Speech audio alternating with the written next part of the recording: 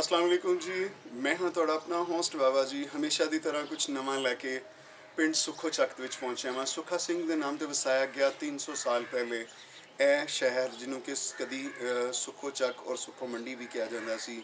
ਇੱਥੇ ਗੱਲੇ ਦੀਆਂ ਮੰਡੀਆਂ ਹੋਣ ਜਾਂ ਗੱਲ ਹੋਵੇ ਰਹਿਣ ਬਹਿਣ ਦੀ ਇੱਥੇ ਜ਼ਿਆਦਾ ਕਮਿਊਨਿਟੀ ਹਾਲਾਂਕਿ ਵਸਾਇਆ ਸੁੱਖੋ ਸਿੰਘ ਨੇ ਸੀ ਲੇਕਿਨ ਇਹਦੇ ਨਾਮ ਦੇ ਉੱਤੇ ਜਿਹੜਾ ਤੁਸੀਂ ਕਹਿੰਦੇ ਹੋ ਕਿ ਇੱਥੇ ਹਿੰਦੂ ਵਾਸੀ ਜਿਹੜੇ ਸਨ, ਉਹ ਜ਼ਿਆਦਾ ਸਨ। ਜਾ ਬਜਾ ਜਗ੍ਹਾ ਜਗ੍ਹਾ ਦੇ ਉੱਤੇ ਧਰਮਸ਼ਾਲ, ਮੰਦਿਰ ਜਿਹੜੇ ਨੇ, ਉਹ ਬਹੁਤ ਹੀ ਪਿਆਰੇ ਇੱਥੇ ਮਿਲਦੇ ਨੇ। ਇਹ ਇੱਕ ਘਰ ਦਾ ਪਰਸਨਲ ਮੰਦਿਰ ਜਿਹੜਾ ਸੀ, ਉਹਦੇ ਰਿਮੇਨਸ ਨੇ ਵੀ ਜਿੱਥੇ ਪੂਜਾ ਕੀਤੀ ਜਾਂਦੀ ਸੀ ਔਰ ਆਰਤੀ ਕੀਤੀ ਜਾਂਦੀ ਸੀ, ਇਹ ਉਹ ਜਗ੍ਹਾ ਇਸ ਜਗ੍ਹਾ ਦੇ ਮੁਤਲਕ ਦੱਸਿਆ ਜਾਂਦਾ ਹੈ ਕਿ ਇੱਥੇ ਹੀ 100 ਦਰਵਾਜ਼ੇ ਦਾ ਇੱਕ ਪੂਰਾ ਮਹਿਲ ਸੀ, ਜਿਹਦੇ ਕਿ 100 ਦਰਵਾਜ਼ੇ ਸੀ। ਦੱਸਿਆ ਜਾਂਦਾ ਹੈ ਕਿ ਇੱਕ ਵਾਰੀ ਇਹਦੇ ਅੰਦਰ ਇੱਕ ਬਾਰਾਤ ਠਹਿਰੀ ਸੀ ਆ ਕੇ। ਬਾਰਾਤ ਠਹਿਰੀ ਸੀ ਤੇ ਬਾਰਾਤ ਜਿਹੜੀ ਸੀ, ਉਹ ਗੁੰਮ ਹੋ ਗਈ ਸੀ, ਉਹ 100 ਦਰਵਾਜ਼ੇ ਵਾਲੇ ਮਹਿਲ ਦੇ ਅੰਦਰ ਹੀ, ਯਾਨੀ ਕਿ ਉਹ ਵਾਪਸ ਨਹੀਂ ਸੀ ਨਿਕਲ ਸਕੀ। ਇੱਥੇ ਦੀ ਬਹੁਤ ਵੱਡੀ ਮਸ਼ਹੂਰ ਕਥਾ ਹੈ। ਇਸ ਚੀਜ਼ ਦੇ ਮੁਤਲਕ ਕਹਾਣੀ ਹੈ। ਕਿ ਬਈ ਇੱਥੇ ਜਿਹੜੀ ਬਾਰਾਤ ਅੰਦਰ ਵੜੀ ਸੀ ਔਰ ਉਹ ਹਿੰਦੂ ਫੈਮਿਲੀ ਜਿਹੜੀ ਸੀ ਜਿਮਸ ਐਂਡ ਸਟੋਨ ਦਾ ਕੰਮ ਕਰਦੀ ਸੀ।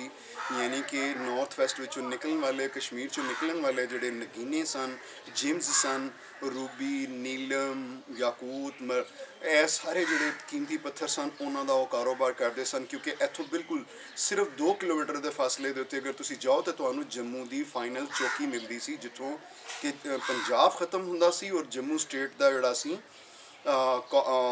ਇਸਤਕਬਾਲ ਤੁਹਾਨੂੰ ਕਰਦੇ ਸਨ ਔਰ ਉੱਥੇ ਹੀ ਤੁਹਾਨੂੰ ਜਨਾਬੇ ਲਈ ਟੈਕਸ ਪੇ ਕਰਨਾ ਪੈਂਦਾ ਸੀ ਪੰਜਾਬ ਚੋਂ ਰਿਆਸਤ ਜੰਮੂ ਕਸ਼ਮੀਰ ਦੇ ਵਿੱਚ ਇੰਟਰ ਹੋਣ ਦਾ।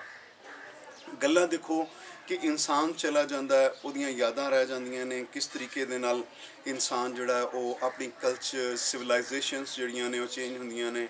ਜਿਵੇਂ ਕਿ ਵੰਡ ਪੰਜਾਬ ਦੀ ਲੈ ਕੇ ਮੈਂ ਹਮੇਸ਼ਾ ਹੀ ਕੋਈ ਨਾ ਕੋਈ ਨਵੀਂ ਚੀਜ਼ ਸਾਹਮਣੇ ਲੈ ਕੇ ਆਉਣਾ ਵਾਂ। ਪੰਜਾਬ ਤੇ ਵੰਡਿਆ ਗਿਆ ਪੰਜਾਬੀਆਂ ਦੇ ਸੀਨੇ ਤੇ ਲੀਕ ਮਾਰ ਦਿੱਤੀ ਗਈ ਔਰ ਨਾਲ ਹੀ ਮੈਂ ਕਹਾਂਗਾ ਕਿ ਇੱਥੋਂ ਅੱਗੇ ਥੋੜਾ ਜਿਹਾ ਅੱਗੇ ਜਾਂਦੇ ਆ ਤਾਂ ਸਾਨੂੰ ਜੰਮੂ ਮਿਲਦਾ ਹੈ। ਇੱਥੋਂ ਹਾਰਡਲੀ 20 ਤੋਂ 22 ਕਿਲੋਮੀਟਰ 에ਅਰ ਡਿਸਟੈਂਸ ਹੈ ਜੰਮੂ ਦਾ। ਔਰ ਮੈਂ, ਇਹ ਲਾਸਟ ਜਗ੍ਹਾ ਸਨ ਜਿਹੜੀਆਂ ਕਿ ਤਹਿਸੀਲ ਅੰਬਾਲਾ ਚਾਹੁੰਦੀਆਂ ਸਨ ਔਰ ਡਿਸਟ੍ਰਿਕਟ ਦੀ ਗੁਰਦਾਸਪੁਰ ਸੀ।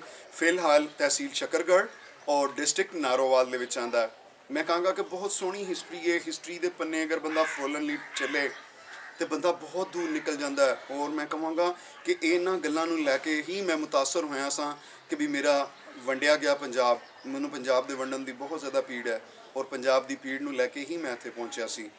ਪਿੱਛੇ ਇਹ ਜਿਹੜੇ ਐਮ ਇਸ ਲਈ ਮੈਂ ਨਹੀਂ ਕਹਿ ਰਿਹਾ ਹਾਂ ਕਿ ਇਹ ਜਿਹੜੀ ਇੱਟ ਦੀ ਬਣਾਵਟ ਹੈ ਅਗਰ ਤੁਸੀਂ ਗੌਰ ਨਾਲ ਦੇਖੋ ਤੇ ਇਹ ਇੱਟ ਦੀ ਬਣਾਵਟ ਜਿਹੜੀ ਹੈ ਮੁਗਲਈ ਹੈ ਇਹ ਕੋਈ ਆਮ ਇੱਟ ਨਹੀਂ ਹੈ ਇਹ ਮੁਗਲਈ ਹੈ ਬਿਲਕੁਲ ਛੋਟੀ ਇੱਟ ਹੈ ਇਹ ਦੇਖੋ ਤੁਸੀਂ ਇਹਦਾ ਸਾਈਜ਼ ਦੇਖੋ। ਇਹ ਮੁਗਲਈ ਇੱਟ ਲੱਗੀ ਹੋਈ ਹੈ ਇਹਦੇ ਵਿੱਚ। ਇਹਦੇ ਵਿੱਚ ਨਾਨਕਸ਼ਾਹੀ ਨਹੀਂ ਲੱਗੀ ਹੋਈ। ਇਹਦਾ ਮਤਲਬ ਹੈ ਕਿ ਇਹ ਸਿੱਖ ਪੀਰੀਅਡ ਤੋਂ ਵੀ ਪਹਿਲੇ ਦੇ ਜਿਹੜੇ ਫੁੱਟਸਟੈਪਸ ਨੇ, ਇਹ ਉਹ ਨੇ। ਔਰ ਅਗਰ ਦੇਖਿਆ ਜਾਵੇ ਤੇ ਦੇਖਿਆ ਜਾਵੇ ਤੇ ਹਿਸਟਰੀ ਜਿਹੜੀ ਹੈ, ਉਹ ਇੱਕ ਵਾਰੀ ਆਪਣੇ ਆਪ ਨੂੰ ਰਿਪੀਟ ਕਰਦੀ ਹੈ ਹਿਸਟਰੀ ਰਿਪੀਟ ਹਿਮਸੈਲਫ ਕਿਸ ਤਰੀਕੇ ਨਾਲ ਹੁੰਦਾ ਇਹ ਰੱਬ ਜਾਣਦਾ ਲੇਕਿਨ ਤੁਸੀਂ ਇਹ ਦੇਖ ਸਕਦੇ ਹੋ।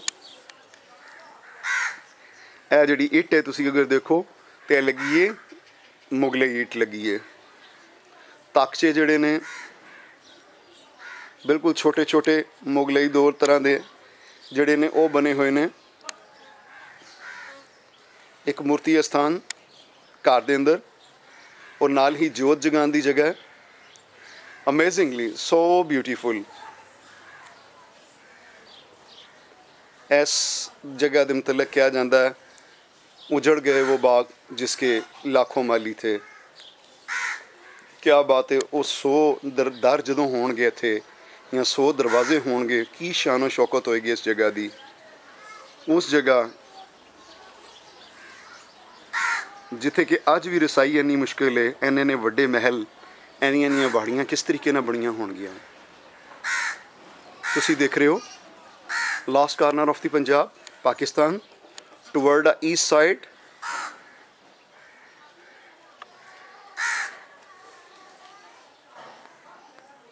ਪਿੰਡ ਦਾ ਨਾਮ ਹੈ ਸੁੱਖੋ ਚੱਕ, ਜਿਹੜਾ ਕਿ ਕਦੀ ਸ਼ਹਿਰ ਹੁੰਦਾ ਸੀ, ਕਦੀ ਇਹ ਸ਼ਕਰਗੜ੍ਹ ਤੋਂ ਤਿੰਨ ਗੁਣਾ ਵੱਡਾ ਹੁੰਦਾ ਸੀ, ਇਹਦੀ ਆਬਾਦੀ ਜ਼ਿਆਦਾ ਹੁੰਦੀ ਸੀ, ਅੱਜ ਤਹਿਸੀਲ ਸ਼ਕਰਗੜ੍ਹ ਹੈ, ਲੇਕਿਨ ਸੁੱਖੋ ਨੂੰ ਕੋਈ ਜਾਣਦਾ ਨਹੀਂ ਹੈ, ਸੁੱਖੋ ਨੂੰ ਕੋਈ ਪਹਿਚਾਨਦਾ ਵੀ ਨਹੀਂ ਹੈ ਕਿ ਸੁੱਖੋ ਇੱਥੇ ਕਦੀ ਸ਼ਹਿਰ ਹੁੰਦਾ ਸੀ ਔਰ ਕਿੱਥੇ ਇੱਥੇ ਇੱਥੇ ਮੰਡੀਆਂ ਲੱਗਦੀਆਂ ਸਨ, ਗੱਲੇ ਦੀਆਂ ਲੱਗਦੀਆਂ ਸਨ, ਚਮੜੇ ਦੀਆਂ ਲੱਗਦੀਆਂ ਸਨ ਜਿਮਸ ਐਂਡ ਸਟੋਨ ਜਿਹੜੇ ਸਨ, ਉਹ ਇੱਥੇ ਇਕੱਠੇ ਹੁੰਦੇ ਸਨ। ਗੁਜ਼ਰੇ ਹੋਏ ਦਿਨਾਂ ਦੀਆਂ ਯਾਦਾਂ ਲੈ ਕੇ ਮੈਂ ਹਾਂ ਤੁਹਾਡਾ ਆਪਣਾ ਹੋਸਟ ਬਾਬਾ ਜੀ। ਔਰ ਤੁਸੀਂ ਦੇਖ ਰਹੇ ਹੋ ਪੰਜਾਬੀ ਕਲਚਰ ਐਂਡ ਹੈਰੀਟੇਜ ਔਰ ਖਾਲਸਾ ਰਾਜ ਫੁੱਟਸਟੈਪਸ ਇਨ ਪਾਕਿਸਤਾਨ।